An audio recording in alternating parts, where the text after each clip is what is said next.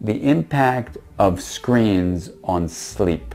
You know, people are exposing their eyes to this stream of photons from these objects that basically tells your brain, stay awake, it's not time to go to sleep yet.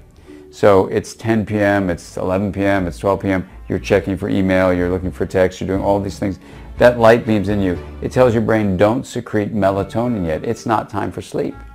And you're up at 12.30, you're up at 1, you're checking some more because you're up after all, why shouldn't you check? Now, you go to bed at 1, you wake up at 6 to get ready for work, that's five hours of sleep.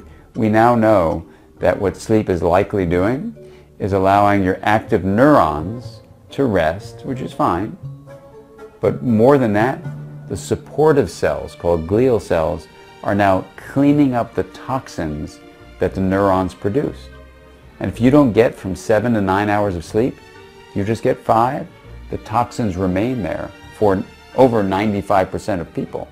There are small percentage of people who are genetically different. They don't need that much sleep. But for the vast majority of us, we need seven to nine hours of sleep. So even though it's like a badge of courage, I only had three hours of sleep last night and I'm working today, it makes your attention falter, your memory is impaired, your ability to think through problems is challenged, your insulin even that helps regulate your metabolism is turned upside down so you're more likely to gain weight from what you eat and eat more.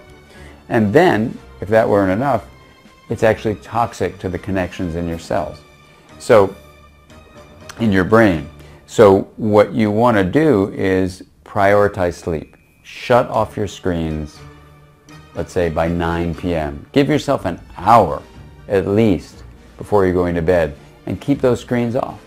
It's a serious, serious problem for everyone and we can do something about it by actually actively deciding that's what we're going to do is take care of this aspect of the digital domain.